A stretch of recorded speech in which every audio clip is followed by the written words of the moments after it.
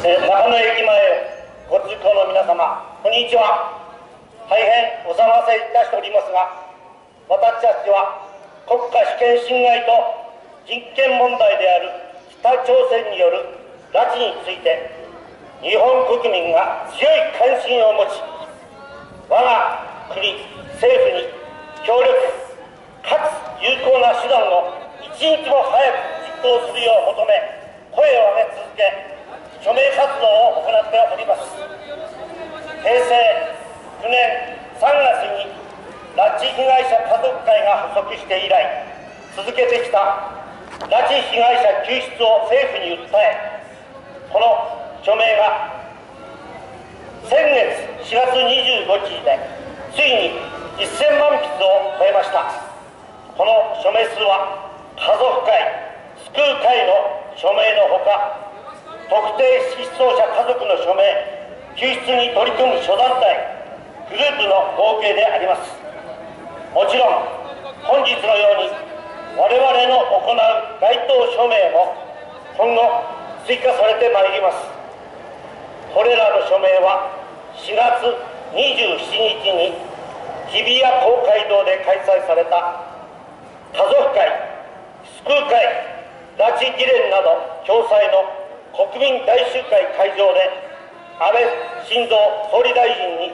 最新署名数目録として家族会横田前代表と飯塚現代表から手渡されました。1000万署名は全国の有志の手によって達成されましたがこれはあくまでも日本国政府に対して北朝鮮に対して有効な政策発動をし拉致被害者全員を速やかに取り戻してほしいという要請であり北朝鮮に具体的な圧力を加えうるものではありません。私たちは国家主権侵害と人権問題であります。拉致を身近な問題として捉え共に政府に訴えようではありませんか。日本国は我々は何の不自由もなく平和であります。その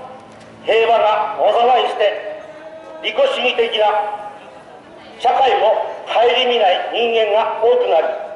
まさしく平和ボケとなっております。いい加減に平和ボケを捨て日本が置かれている立場危機感を感じ考えてみてください。よろしくお願い申し上げます。拉致問題をはじめ北方領土問題竹島問題。尖閣諸島問題。沖縄問題と重大な問題が山積みであります。決して平和ボケではいられない時だと思います。本日も私たちと一緒に訴えております。家族会事務局長の増本照明さんはお姉様を北朝鮮に拉致されて以来涙を流しながらきっときっと助け出すからと寒い日も暑い日も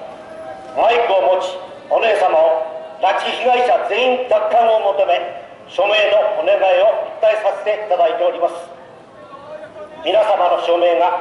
必ず政府を動かす力になります。安倍晋三内閣ではこの度飯島内閣官房参与を北朝鮮に派遣。昨日経由地の北京経由で帰国し11年前小泉市長とともに5人の拉致被害者が企画したような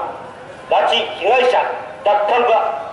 何らかの明るい報告がないか前進が見られないものかと期待するところでありますが我々はさらに声を高めお訴えさせていただきます。さらに政府を動かす原動力となる皆様の貴重な署名を何卒よろしくお願いいたします。皆様一人一人の温かい心による署名が政府に通ずるものであります。何卒？1分。足を止めて署名にご協力をお願いいたしたいと思います。どうぞよろしくお願いいたします。